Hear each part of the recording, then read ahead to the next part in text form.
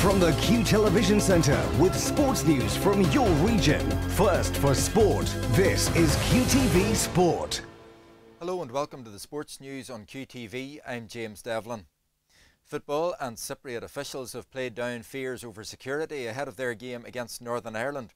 There are two internationals in the country this week, with Ukraine taking on the United States. England's women team are also in Cyprus.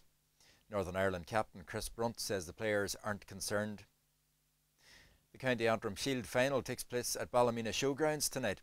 Crusaders meet Linfield in the decider. A win for Linfield would be a 31st trophy for David Jeffries as Blues boss. That would equal Roy Coyle's Windsor Park record. And in tennis, Andy Murray's been beaten by Novak Djokovic in a one-off exhibition match in New York.